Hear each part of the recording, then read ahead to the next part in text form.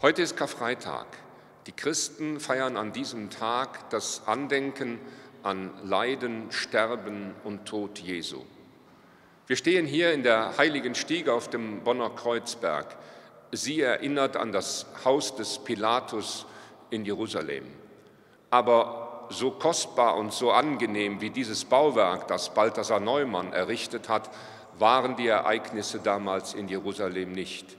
Jesus steigt die Treppe im Haus des Pilatus hinauf, um dort ungerecht verurteilt zu werden. Er, der die Menschen liebte, sollte sterben. Er, der barmherzig war, sollte leiden.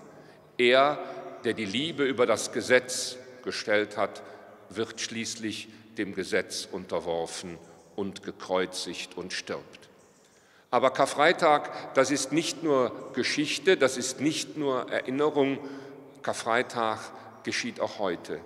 Ich denke an die vielen leidenden Menschen unter uns, ich denke an die vielen leidenden Menschen auf unserer Erde. Mit ihnen ist der Sohn Gottes im Tod am Kreuz solidarisch geworden. Daran denken wir heute und das dürfen wir auch ein wenig heute feiern. thank you